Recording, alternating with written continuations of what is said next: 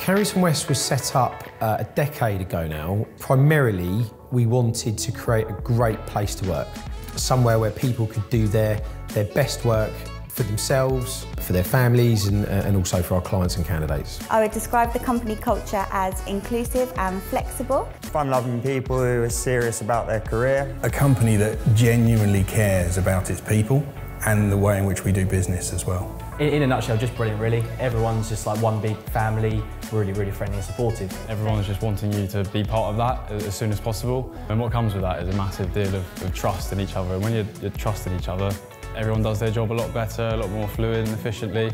Um, and you know you can rely on the person next to you. So it's just a great environment all the way, all the way around. Investors in People is an international standard for people management processes. We're always looking for ways in which we can improve and develop as individuals and as a business. When you join Carrington West, you'll be enrolled onto our learning and development programme, and that consists of our e-learning site, as well as at-desk coaching. We also run classroom-based training sessions. We understand that everybody has different learning needs and different learning styles, and that's why we deliver our training through so many different methods. I think we look after our people very well, and in turn they look after our customers very well, and that's been the, the largely the key to our success. Just the whole office supports you as well, oh, constantly encouraging you to like do well in your role. We work hard, we've got each other's backs.